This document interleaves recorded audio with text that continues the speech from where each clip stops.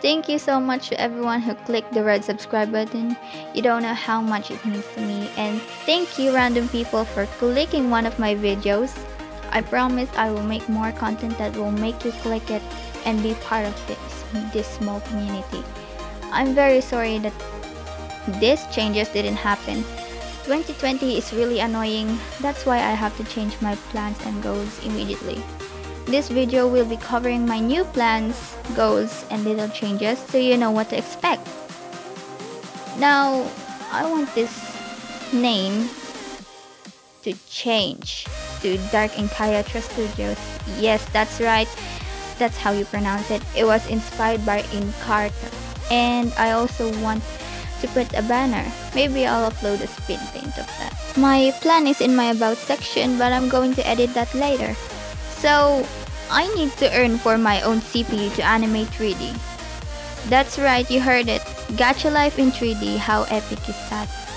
Yeah, I'm going to use it for my series and it will be pain. And I also made an account in Casting Call Club to make a team in Casting Call Club, there's voice actors, animators, and others. Next is improving my editing, my animation skills, and drawing skills. It's really bad. That's why I'm starting it by doing this speed paint and then give all the gacha tubers I know. I really like giving gifts and see their reactions. Next is upload something every one or two weeks. Nope, I don't want to talk about that and I don't want to make it a promise. The world name is Mythopia or Enkyatra and it has a lot of romance, fantasy, scary action series. Yet it has a lot of things.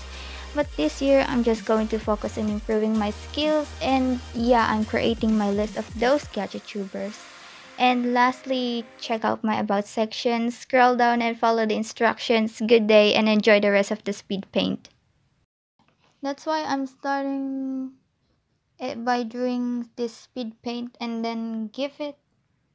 Oh my gosh what is this? Ha ha ha.